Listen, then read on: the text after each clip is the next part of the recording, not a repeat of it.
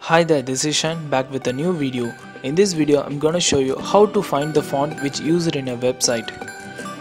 By default, we could find the font using View Page Source button in a web browser. But in many websites, they hide the resources like fonts and style they use. So for those cases, there is a website which will find the font easily just go to the website called font.odd-word.com.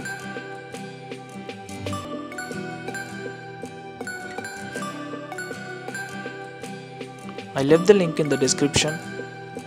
Here you can find the button called font.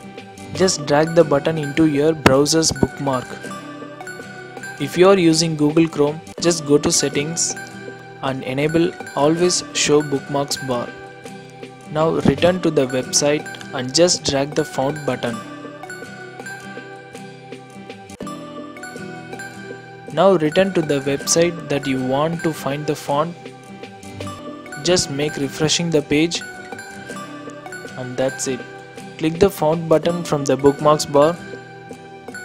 Now select the text you want to find the font.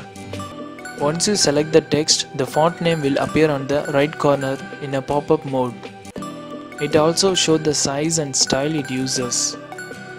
Now Google the font name and then download from the website you like.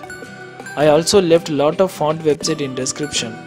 You can also search for the font from that website too.